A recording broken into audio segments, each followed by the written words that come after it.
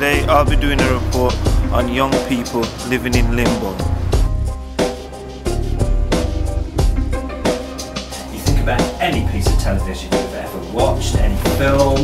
the documentaries, they always take you somewhere, they always lead